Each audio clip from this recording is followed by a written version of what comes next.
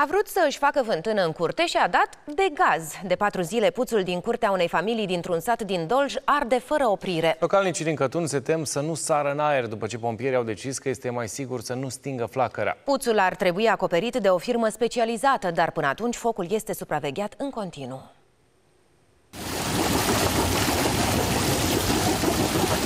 Proprietarii gospodăriei au forat puțul în luna martie. Până acum patru zile, familia s-a folosit de apa din sol fără probleme. Sâmbătă seară, puțul a luat foc din senin și de atunci arde necontenit. Se pare că atunci când au săpat gaura, au dat și de o pungă de gaze. Am sunat la 112, au venit uh, domnii de la pompieri.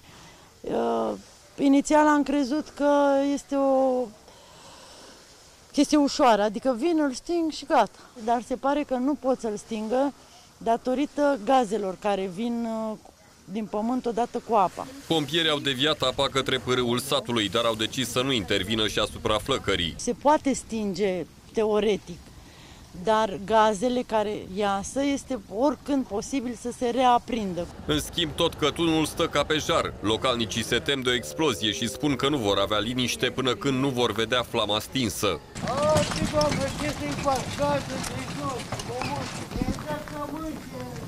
E săcământ, așa e. Mai bine să fie să pui o sondă pe subțietate, pe acolo, că mă mai fi gaze. În curtea familiei e acum pelerinaj. Autoritățile fac măsurători zi de zi.